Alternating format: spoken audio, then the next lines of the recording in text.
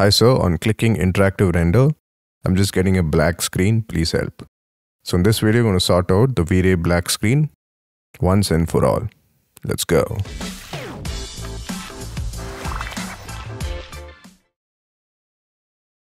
Alright, so tip number one is generally I render with the sections and you can see that this section is overlapping with the wall. So if it's inside the wall, you can see that now it's inside the wall, you'll only see the back side of the face. So make sure your section is always inside the room. So all you need to do is select the section and move it in and you're done.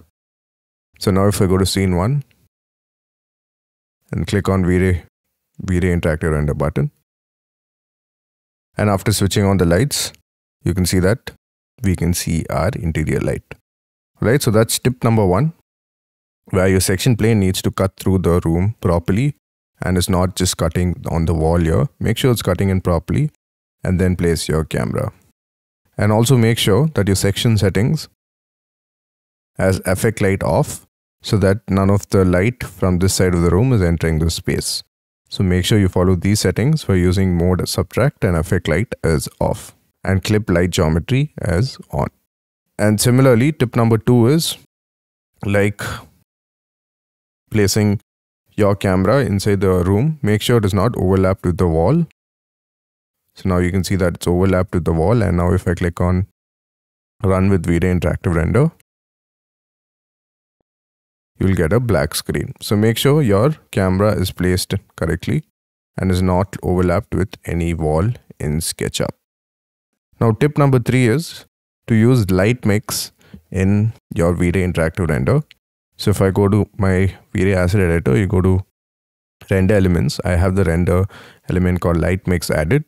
And it's a good idea to group instances. You can also group individual lights if you don't have too many lights in your scene. But I like using group instances because if I change one set of similar lights, for example, these down lights, then both the down lights would change together. So all you need to do to add a light mix is right click here and you'll find light mix here and you can add it in. So once you've added light mix, you can change the settings here and then click on V-Ray with the render with V-Ray Interactive. Alright, so a lot of students, they generally switch off all the lights in the light mix settings and then end up asking questions on the course page that I'm getting a black screen. So make sure you've added ample lights and also switched on all the lights here. And one way to check your lights in V-Ray for SketchUp is by switching it off and then turning them on one by one. So you can see this is a filler light coming from the door. This is the light from the down light here. You can also see how much of an effect it has in the scene. Then we have a sunlight coming in from the window. We have our environment light as well. You can also turn them on one by one and check if they are working. Self-illumination is these lamps here. You can also increase the intensity. For example, can increase the intensity of these lights and change the value. And then you can turn on the other lights as well. Now, generally you get these spots when the light is placed inside a material. So if you want to avoid this issue, all you need to do is make sure you place the light a little outside the lamp. Or you can also reduce the value to say 10 and you will get rid of those extra spots in your scene. But this seems a little too much, so I'll just keep it to 2 and leave it as is. Now sometimes when students use the sunlight, they do not set the right sun direction. So I'm going to stop the render here. And I'm going to switch on the shadows. So go to view and click on shadows. So you can see that the shadow is actually falling this side. Now, uh, the reason why the shadow is falling inside in the V-Ray Interactive is because we're using custom orientation. So if I go to my lights here, click on sunlight, you can see that I've switched on custom orientation. But if I switch this off and now run an in V-Ray Interactive Render, you'll notice that we'll get a black screen and that's because sun is falling from this side of the SketchUp window. So you can see it's falling on the roof. So to fix this issue, all you need to do is install a plugin called Solar North. So if you go to extensions, warehouse, search for Solar North. You can install this plugin.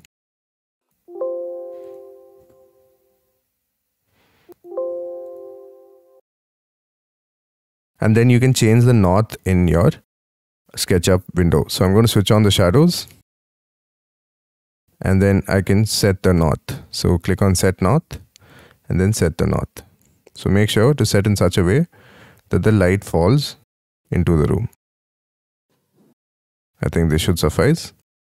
And now if I go to scene 2 or scene 1 that is and run an interactive V-Ray render you can notice that the light comes in perfectly.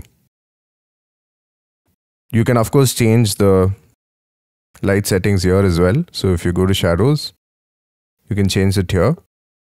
But in general, the green axis is pointed towards the north in SketchUp. So the chances of light falling from the north side of the room is limited because generally sun direction is from the southeast to the southwest. So if you want to change the north, then make sure that the light is falling from this side. You can use the Solar North plugin. All right, and the next step, what I would say is always check your curtain materials because sometimes the curtain materials would block the light. So if I check this material, you can see that this is a proper transparent or translucent material. So I've used a two-sided material and I've applied a material called the V-Ray White Base. It's a simple material with the fall off map. It generates that curtain and I've applied the same material, the white base on the front and the back and you can make it either opaque or transparent by dragging this translucency slider. So always make sure you create this material and then you need to enter this group, select both sides of the faces by triple clicking and then apply the material. So make sure you apply this material because if it's an opaque material, there won't be any light coming into the room. The same goes for the glass material as well. Make sure you always check the glass material and make sure it has reflection as full and refraction as full so that light enters the room. And now my last tip is that if you're using an older version of V-Ray, if you go to settings and if you run interactive render with the RTX mode and NVIDIA AI, it may not work in your old comp because you generally need an RTX graphic card for this mode to work. So in that case, all you need to do is just stick to CPU and stick to V-Ray from the start of your render process till the end. It might be a, a bit slower compared to RTX, but it would get the job done and you would not face any black screen issues. So I hope this video helps you solve your black screen issues and you don't face any V-Ray black screen ever again in your SketchUp and V-Ray journey. Now, if you want to learn more about SketchUp and V-Ray, all you need to do is go to udemy.com and then search for SketchUp and you'll find my course here to complete SketchUp and V-Ray course for interior design. I've already sort of logged in, so I get access. So you you get access to about six projects so far, but I keep adding new sections and more projects in this course. And you'll get to create cool renders like this with your SketchUp model using V-Ray for SketchUp. I hope to see you guys in the course inside. You can also use the Q&A section to ask me questions and I'll personally answer all your questions as well. So I'll see you guys in the course inside. Please do like and subscribe if you found this video useful. I'll see you guys in the next video. Cheers.